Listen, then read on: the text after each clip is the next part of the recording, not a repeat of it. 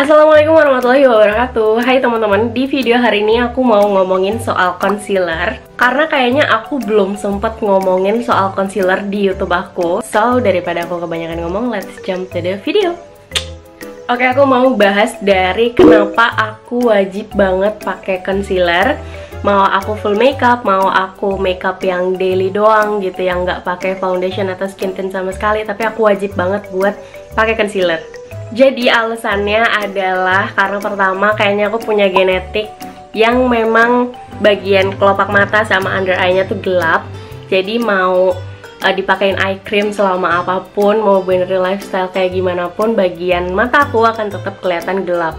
Nah yang kedua adalah lifestyle-nya yang kurang bagus. Aku dulu-dulu tuh sering banget begadang, terus asupan nutrisinya nggak cukup kayak dari pola makannya berantakan terus aku makan apa aja gitu nggak diatur nggak dilihat-lihat dulu. Terus dari asupan air minumnya juga kurang karena aku jarang banget minum ini nggak boleh dicontoh. Nah dari alasan-alasan itu tadi bikin kulit aku jadi kurang bagus termasuk ngaruh ke mata aku. Karena selain begadang aku juga sering banget mantengin HP itu ngaruh banget ternyata. Dan selama dari 2021 itu aku pakai eye cream, pakai eye serum gitu-gitu, ternyata nggak ngaruh karena lifestyle nggak dibenerin gitu. Jadi pakai eye cream aja nggak cukup, lifestyle-nya juga harus dibenerin. Dan karena hal itu juga aku lebih milih untuk pakai concealer untuk nutupin si imperfection aku di bagian mata.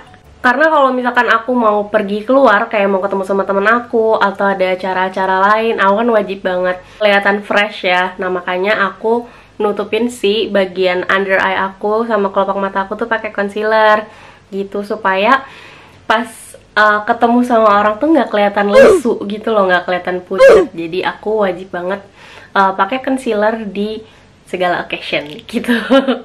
Nah dari situ aku jadi ngerasa kecanduan sama concealer Kayak addicted banget sama concealer. Jadi mau ke mana-mana wajib pakai concealer Dulu tuh aku masih inget banget supaya si under eye yang gak kelihatan abu-abu Dulu tuh ada beauty hacks kayak kalau kamu nggak punya color corrector warna orange Kamu bisa pakai lip cream atau pakai lipstick yang warnanya lebih ke orange gitu loh hintnya. Nah tapi aku ngerasa pakai si color corrector warna orange Atau pakai lipstick, pakai lip cream yang warnanya orange atau pink Itu bikin si under eye aku kelihatan kayak merah banget dan jadi gelap.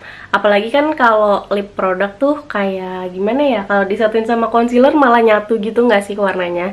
Jadi si under eye aku kelihatannya merah. Terus kalau aku lagi pakai yang orange tuh jadinya orange jadinya pink jadi aneh gitu loh. Terus aku harus banget pakai dua shades concealer jadi dulu-dulu tuh aku pakainya cuma satu shades concealer doang. Aku masih ingat aku pakai Madame G yang shade-nya tan. Itu masuk banget di warna kulit aku waktu itu. Cuman sekarang-sekarang aku pakai dua shade concealer yang warna terang sama warna gelap. Nah biasanya aku tuh sering banget bereksperimen sama concealer sampai aku bener-bener nemu uh, enaknya yang mana, cocoknya yang mana. Nah di sini aku mau kasih lihat perbedaan kalau aku pakai concealer yang warna terang aja sama pakai concealer yang warnanya gelap aja. Ini di sini concealer terangnya aku lagi pakai SK yang shade-nya caramel dan concealer gelapnya seperti biasa aku pakai Gobang yang shade-nya tan. Nah, aku pakai concealernya SK dulu yang pertama. Ini aku mau kasih lihat kalau aku cuman pakai satu concealer cuman warna terangnya aja. Sebenarnya warnanya masuk di warna kulit aku di bagian pipi aku. Cuman di bagian under eye-nya dia kayak kelihatan abu-abu gitu loh. Jadi agak kurang match gitu dan aku ngerasa memang ada yang kurang kalau aku nggak pakai si Gobang yang shade-nya tan ini. Nah sekarang aku mau kasih lihat kalau aku lagi pakai concealer Gobang aja. Ini sebenarnya warnanya masuk di warna under eye aku cuman di bagian uh, pipi itu tuh kayak jomplang banget gitu loh warnanya jadi fokus si gobang shade-nya tan ini cuman buat nutupin si bagian yang gelapnya aja nggak perlu di blend ke bagian pipi karena warnanya nanti agak peach merah gitu loh jadi Fokusnya memang cuma di bagian under eye aku aja yang bagian-bagian gelapnya doang. Dan ini perbedaannya kalau aku pakai concealer warna terang dan pakai concealer warna gelap aja. Kelihatan banget kan bedanya? Nah karena dua eksperimen tadi, aku jadi kepikiran untuk nyatuin si dua concealer ini. Jadi yang pertama aku pakai concealer warna gelap yang gobang dulu. Abis itu setelah aku blend semuanya, aku campur pakai SK yang shade-nya karamel atau biasanya kalau concealer warna terang aku pakai apa aja sih. Cuman sekarang aku lagi pakai SK karena memang cuman ini concealer terang yang lagi ada di uh, pouch makeup aku. Yang lainnya abis.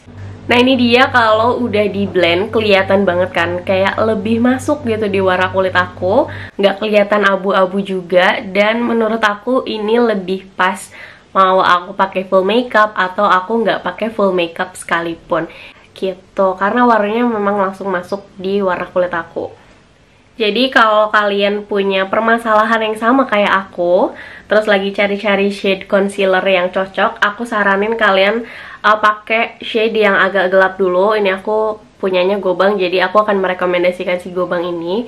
Terus concealer warna terangnya kalian bisa pilih concealer apa aja, tapi yang shade-nya masuk ke warna kulit kalian. Karena biar match aja gitu sama warna kulit jadi dia fungsinya buat netralin warna supaya si bagian under eye sama bagian wajah kalian tuh nggak jomplang gitu jadi udah kejawab ya kenapa aku selalu pakai dua concealer jadi supaya si bagian under eye-nya itu nggak kelihatan terlalu gelap atau nggak kelihatan terlalu terang atau nggak abu-abu.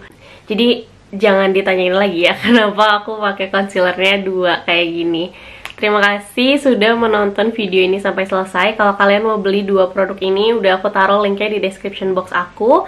Semoga kalian suka sama videonya dan semoga videonya bermanfaat buat kalian yang baru mau belajar makeup.